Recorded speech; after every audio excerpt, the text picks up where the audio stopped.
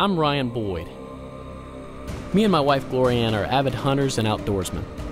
We also own a nuisance wildlife removal company.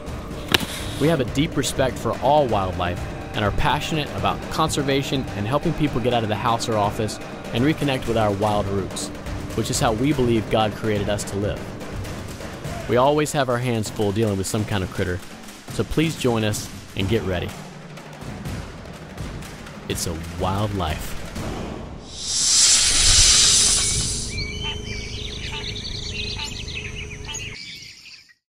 All right, here we are. We're in the Florida Everglades, and this is home to one of the biggest snakes in the world, the Burmese python. Burmese pythons have taken over the Florida Everglades. They eat anything and everything that can fit in their mouth. Florida Wildlife Commission estimates there to be between 30,000 and 300,000 pythons in the Everglades, but no one knows for sure. They have been catastrophic to our native wildlife, and even with significant control efforts, we believe the python population is still on the rise. All right, guys, we are super excited. We're going to meet Kevin and Chris. They work with Gator Boys Alligator Rescue, and apparently they've got some good spots. This will be, I believe, our fourth time, fourth trip, actually going out and trying to get pythons. We've looked for hours and hours and hours, and um, they're just tough to find. There's plenty of them out here, but it's 1.6 million acres of Everglades, and that's look like looking for a needle in a thousand haystacks. Not to mention that needle's camouflaged to look like hay. Uh, these snakes are camouflaged, and a lot of times they'll be right there in the grass, and they're just they're so camoed you just can't see them. And we're here with uh, I don't know if you can see his face; it's covered for your protection. But that's uh, Gator Boys Chris, and uh, Kevin is on the phone with FWC, getting everything set up, and we're getting ready to roll. And we've got Gloria in here. We're hoping to get on some pythons, so hoping to have a lot of action. It's a beautiful day, and these snakes should be out laying in the sun trying to stay warm. So hopefully we have some action, so stick with us. All right, you can see why this is such a great hiding spot for these Burmese pythons. This Everglades is completely impenetrable. I have to fold the sawgrass and marsh grass out of the way to be able to see where I'm going.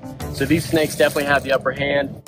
There's no way we can find them in this stuff. So that's why we have to search these levees. And searching these levees is only probably 0.0001% of the entire Everglades.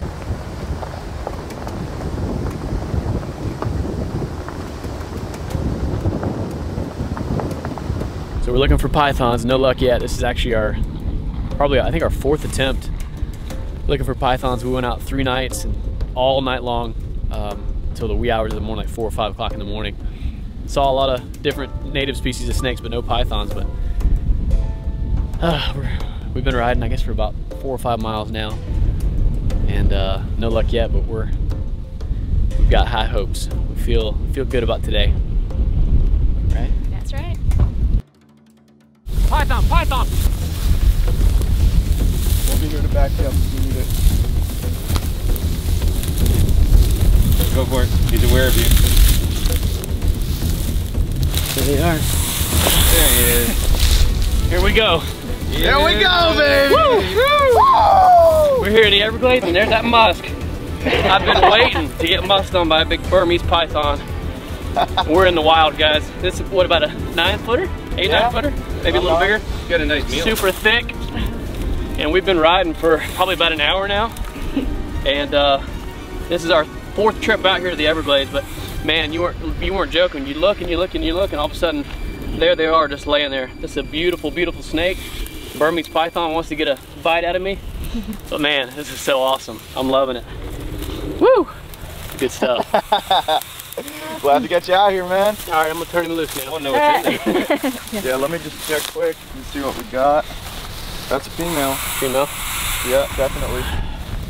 I don't I don't go by people's first names. I go by their YouTube channels. Right here with Snakeaholic and Florida's Wildest. You guys go give them give them a follow. Subscribe to their YouTube channel for more content like this. We're out here in the wild of Florida in the Everglades, as wild as it gets. There's different versions of wild, but I don't think there's anything more wild than the Florida Everglades. Yeah, man. And this is proof. All right, you guys, Python is on the menu today. I never thought I would say that, but we just got our Python back. So this was caught on state property. So it was turned into FWC already, got tagged, did whatever they do to the pythons that are caught. And there is, as you can see, a lot of meat to work with. So we're gonna try it three different ways. So first off, we really just wanna genuinely taste what python tastes like. So we're just gonna sear it, salt and pepper, very little seasoning. Just sear it up, see how it tastes. We're gonna make jerky, because that just sounded pretty good, python jerky. And then a spicy Everglades stew is what we're calling it. So hopefully that one will turn out pretty good. All right, so we didn't really know what to expect, but it appears that most of the meat is actually on the outside and the skeleton is in the middle. So we're gonna attempt to just fillet it similar to a fish. As we started cleaning, there's actually like a tough membrane eh, like in on the top of the skin, similar to like the silver the silver skin and like a deer when you're cleaning it that you have to kind of cut through and it's actually almost too tough for our knives to cut through. So we got just a little bit to work with, at least something manageable. So all we have here is just salt and pepper. Got my olive oil hot. We're just gonna saute it, see how it tastes.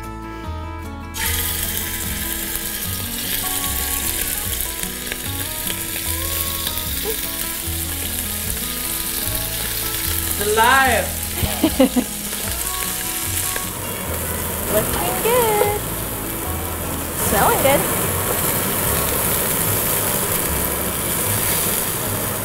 So it actually smells a lot like fish, like when you saute fish. That's the aroma I am getting right now. So not too bad. And they're super crispy. I love anything crispy. So we will find out. All right, we've given it a few minutes to cool. So I am gonna take the first plunge here. Which one should I choose? Let's choose this one. Okay. Definitely chewy. So I think for our next recipe we might need to pound it a little bit. So it's very bland. Not, not too pungent of a taste of, of anything. It's very mild. I mean, I know I just salt and peppered it, but... Ooh, that one's a good one.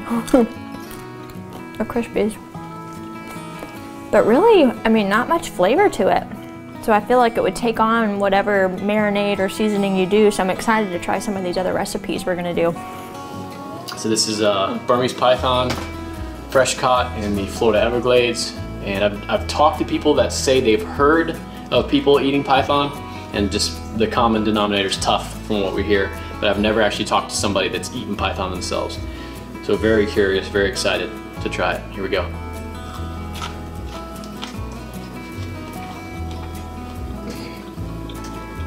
So it's got that charred that really nice seared flavor on the outside, so that's good. All we did is salt and pepper this, it in the olive oil, because we wanted to really taste the flavor of the meat. But it tastes like fish a little bit. Um, actually, kind of a lot tastes like fish to me. That's really good though. It's a little bit chewy. It's not too chewy. I don't mind a little bit chewy. It's actually better than I expected, to be honest. And now I kind of want to go catch another one. We have plenty of meat here. We've got nine feet of it. It is very difficult to clean, but surprisingly good. I mean, the flavor there's, there's no off-putting flavor at all. Very mild, slightly tastes like fish, like a very mild fish, but just definitely firmer than fish. It's really good. Awesome. Who would have thought? Up next is gonna be my attempt at a spicy Everglades python stew. So what we're gonna do, take our, I kind of tried to, I chopped up the python into like little bite-sized cubes, the smaller the better, and I'm just gonna saute this just like we did the other stuff. Cook that up.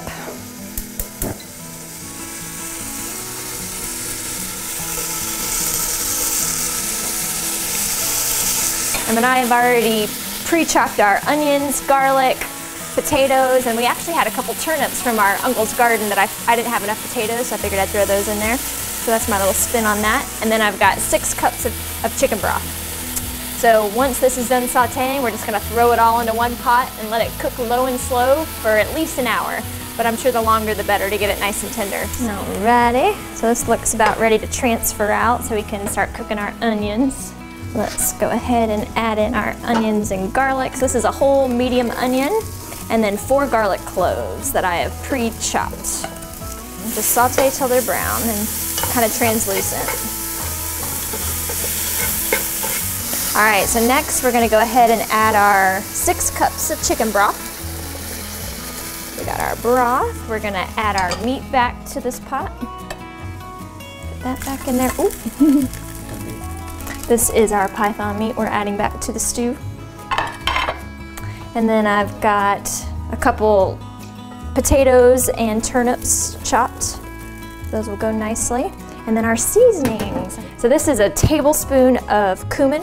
I've got a teaspoon of Himalayan salt and then just a dash of white pepper. Depending on how spicy you want it, you can add more or less. And then a can of diced green chilies.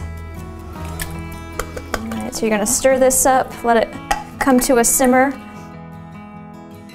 and then you're gonna cover it and let it simmer for at least an hour, or another variation would be just throw it into a crock pot and let it cook all day. Because I feel like cooking the python the longer the better in terms of, you know, for a lot of reasons to make it more tender, and then also just to soak up all the flavors and to make sure it's cooked fully. All right, so while this is cooking, I'm gonna go ahead and start pounding out my other python meat add it to the marinade to get ready for our jerky. So we're not using anything fancy, just regular teriyaki pineapple marinade that I found at the store. So we're gonna try, just pour this in here and let it marinate and soak up some flavor for our jerky. That's probably good.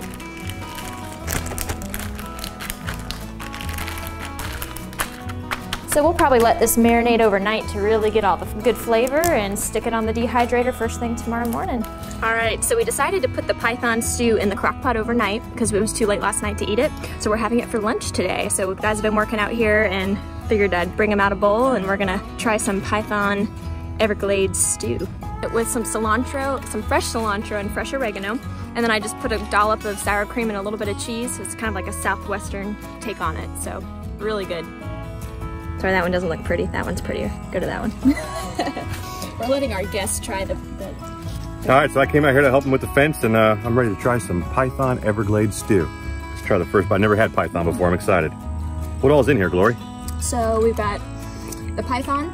We've got potatoes. That's really good. Turnips. You get some meat in that bite? I did, yeah. So there's that Python right there. Oh yeah. And then a can of green chilies. Actually, I ended up putting two cans of green chilies, one a little spicier. And then like seasonings like cumin, salt. So it's got a little bit of chew to it, kind of like a, um, kind of like a, Gator tail, right? yeah, kind of like a gator tail. Good flavor though, real good seasoning. I mean, there's a big piece right there. It, um, it's delicious. Yeah, just like gator tail, but a little bit different. That's really good, Glory. Good. Thank you. Like it. Yeah, we still have jerky to check on. I put that in the dehydrator this morning, so we'll check on that later this evening, and we'll try out our jerky. All right, it's time to check on our jerky. So I've had the Python in here for 12 hours at 160. I really wanted to make sure it was done, so let's check on it.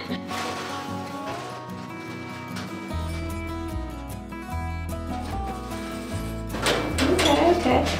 So definitely it looks like it's done. It's pretty hard and crispy, so let's, let's see. Okay, um, let's try a different piece. it's